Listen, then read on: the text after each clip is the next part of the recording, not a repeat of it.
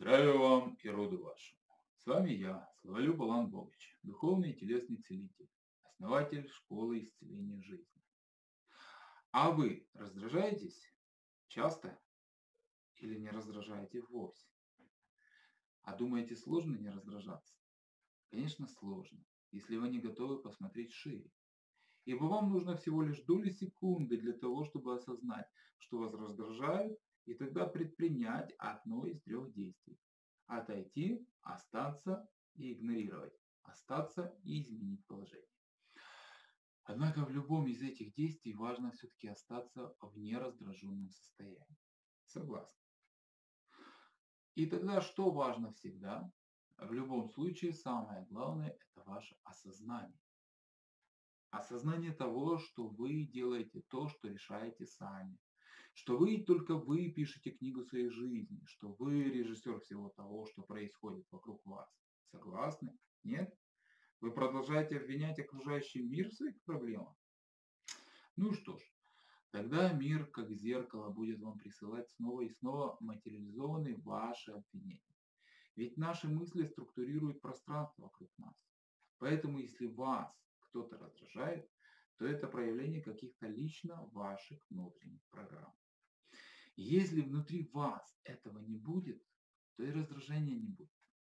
Знаете, как удивительно наблюдать, когда вы попадаете, например, в какой-то закрытый коллектив на определенное время, и наблюдаете, как какой-то человек раздражает всех вокруг. Однако почему-то именно вас он совсем не раздражает. Хотите так? Тогда нужно работать над собой. Ведь вы когда осознаете свою силу, свою мудрость, то раздражения нет. Раздражение есть только тогда, когда вам кажется, что вы не можете справиться с чем-то. Понимаете? Раздражение есть только тогда, когда вам кажется, что вы не можете справиться с чем-то. Прочувствуйте это еще раз. Раздражение есть только тогда, когда вам кажется, кажется, что вы не можете справиться с чем-то. И теперь, когда вас кто-то или что-то раздражает, то первое, что вам нужно сделать, это спросить себя. Неужели я считаю, что я не могу справиться с этой ситуацией? Или почему меня это раздражает? Далее вопрос вашего энергопотенциала. Вопрос мощности вашей силы. Чем выше ваш потенциал силы, тем меньше ситуаций людей, которые могут вас задеть. Что нужно делать, чтобы увеличить свою силу? Во-первых, нужно убирать из своей жизни то, что забирает вашу силу и ничего вам не дает. Это значит позакрывать дыры, через которые убегает ваша сила. Нужно убрать те отношения, которые воруют ваше время и энергию. Нужно убрать те дела, которые воруют ваше время и энергию. И наоборот, обратить внимание на эти отношения и дела, которые вас наполняют радостью, счастьем, удовольствием. Вот прямо сейчас вспомните человека, ну или двух-трех, с которыми вам очень приятно общаться, которые вас радуют. И как давно вы с ними общаетесь? Почему это не делать чаще? Почему это не сделать прямо сегодня? А теперь подумайте о тех делах, которые вы откладываете, хотя они вам приятны и радостны. Ну хватит откладывать свою радость. Это во-первых.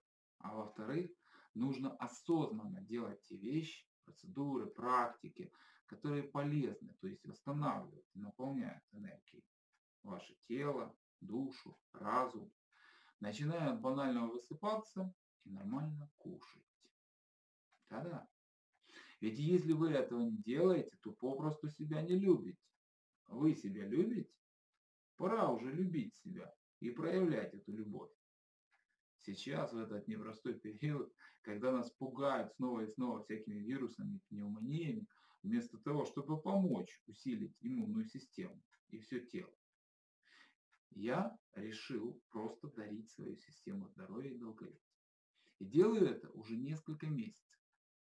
И те, кто хочет самостоятельно управлять своим телом, своим здоровьем, кто не хочет быть членом церкви таблеток и скальпеля, кто хочет природными методами, используя естественные механизмы нашего тела, каждый день получать доступ к моей системе здоровья и долголетия.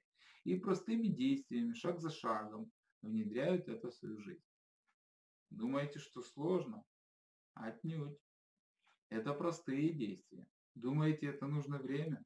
Наоборот, это освобождает и экономит ваше время, внимание и силы. Освобождает вашу жизнь для при, приятных дел. Так что для тела берите мою систему здоровья и долголетия и поднимайте себя на новый уровень. Ну и, конечно, нужно делать энергетические упражнения, прокачивая себя и накапливая энергию. Это сложно? Абсолютно нет. Это намного проще, чем научиться ходить. А ходить вы уже научились? Ну вот да. Вот и это тоже освоите. Чем больше будете делать энергетических практик, тем больше будете замечать, что вас уже не цепляет, не раздражает то, что еще вчера раздражало. Начните с того, что уже выложено на моем канале. А потом я еще добавлю. Здесь на этом канале много уже изложено. Много практик, медитаций, мантр. А если уже хотите большего, тогда моя книга «Введение в любомудрие. Теория и практика любви» для вас. Переходите по ссылке и знакомьтесь с этой моей книгой. А если с ней уже давно работаете, то пишите мне, и вас ждет продолжение. И помните, все, что происходит правильно, все приносит наслаждение. А если что-то не приносит наслаждения, то значит надо узнать, что происходит не так, и это изменить. Ведь все в вашей жизни должно быть наслаждением. Поэтому переходите по ссылке и знакомьтесь с этой моей книгой.